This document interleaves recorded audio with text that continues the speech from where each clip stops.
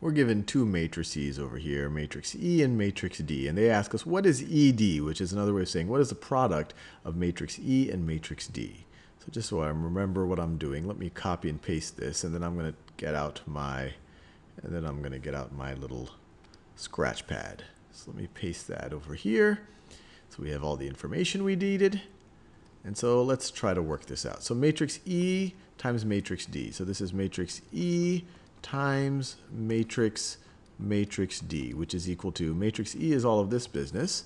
So it is 0, 3, 5, 5, 5, 2 times matrix D, which is all of this. So we're going to multiply it times 3, 3, 4, 4, negative 2, negative 2. Now the first thing that we have to check is whether this is even a valid operation. Now the matrix multiplication is a human defined operation that just happens, in fact all operations are, that happen to have neat properties.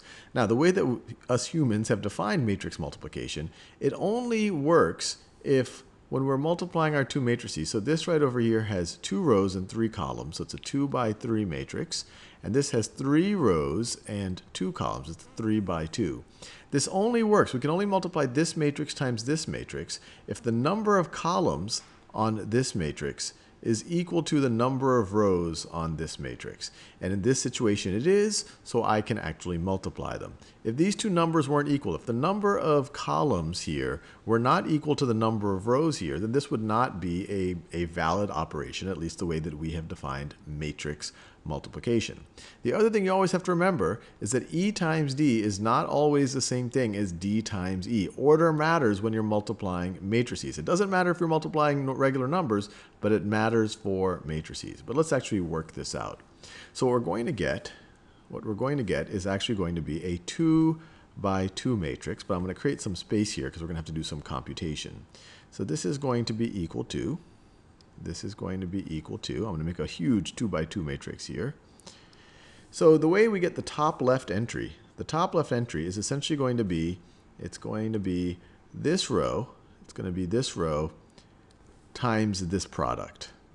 If you view them each as vectors and you have some familiar with the dot product, we're essentially going to take the dot product of that and that. And if you have no idea what that is, I'm about to show you. This entry is going to be 0 times 3. So 0 times 3 plus 3 times 3 plus 3 times 3 plus 5 times 4 plus 5 times 4. So that is the top left entry, and I already see that I'm going to run out of space here, so let me move this over. So let me move this over to the right some space so I have some breathing room. Now we can do the top right entry. This was the top left, now we're going to do the top right. So the top right entry is going to be is going to be this row, this row times this column. This row times this column. Notice the entry is getting the row from the first matrix and the column from the second one. That's kind of determining its position. So once again, is going to be 0 times 4, 0 times 4, plus 3 times negative 2, 3 times negative 2, plus 5 times negative 2, 5 times negative 2. And we keep going. The bottom left entry is going to be this row, the second row here, times the first column here. So it's 5 times 3. So 5 times 3 plus 5 times 3 plus 5 times 3 plus 2 times 4 plus 2 times 4. And we're almost done. We just need to multiply or take the dot product of this row with this column right over here.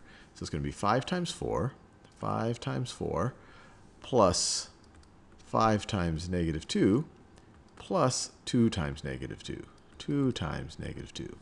And so this is going to be equal to, and we can just evaluate this now. Let's see. 0 times 3 is 0. This is 9 plus 20. Eh, this is 29. This, this all simplified to 29. All of this, this is 0. This is negative 6 and then this is minus 10, so this all simplifies to negative 16. Negative 16. This right over here, it's 15 plus 15, which is 30, plus 8. So this is 38. 38. And then finally, this is 20, 20 minus 10 minus 4. So this is going to be 6. So this is all going to simplify to 6.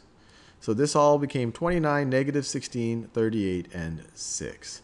29, negative 16, 38, and 6. So 29, 29, negative 16, 38, and 6. Let's check our answer. And we got it right.